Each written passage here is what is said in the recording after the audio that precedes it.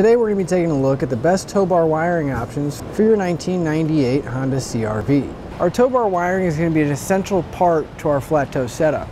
It's going to take the signal from our motorhome and transfer it to our CRV so whether we're stopping or changing lanes, everybody around us is going to know what's going on so we can get down the road safely.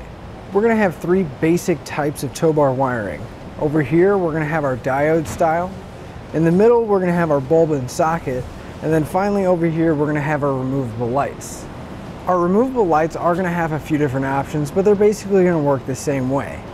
We're either going to have a magnet or a suction cup that's going to attach to our car and then we're going to route the wire up to the front. Now the name suggests that they are going to be temporary and these are really going to be good for occasional use or for an emergency situation. Now while they do work and get our signals back there, again we're going to have to run that wire and run the risk of the wire chafing against the car and potentially causing damage to the paint.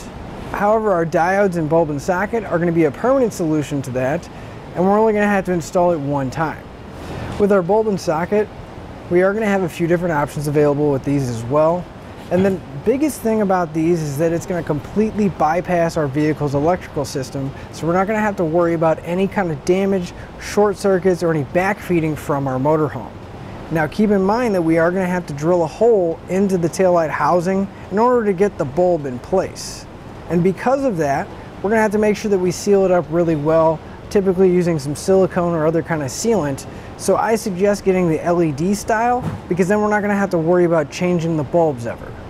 With our bulb and socket kits, you will need to pick up the plug as well as the umbilical that's gonna go between our CRV and our motorhome to get all the lights functioning properly. So if you don't wanna have to drill a hole into your taillight housing, our diodes are gonna be a good option. Our diodes are gonna use the factory wiring on our CRV and basically we're gonna cut the taillight wire. It's going to go into our diode and then the outside is going to go to the bulb.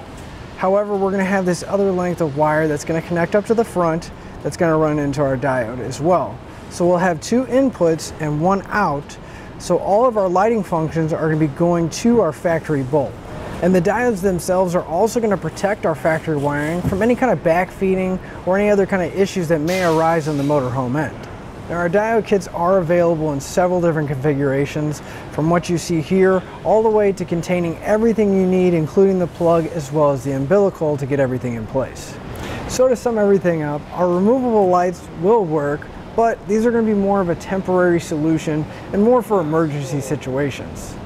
Our bulb and socket and our diode kit are going to be a permanent solution to that and we're not going to have to deal with anything after we have them initially installed. It's just going to come down to what you feel more comfortable with.